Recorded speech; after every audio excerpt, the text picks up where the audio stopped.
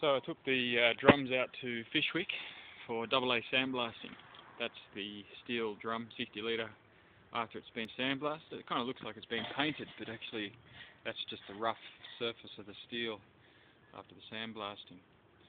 And I picked up some paint, some fire paint, and I'm spraying it onto the drum. It's actually quite difficult to spray. I guess cans are always difficult like that. You can see there's some runs, unfortunately but uh, maybe that'll hide over a few layers and once it's cured for, through a couple of burns maybe it'll be consistent. Uh, I'm thinking also that a stainless steel um, stainless steel uh, beer keg might be good to test out too. It's got a difficult problem with the hole in the end but I might try and pick one up and see if it works. Stainless steel won't need painting then. That's it.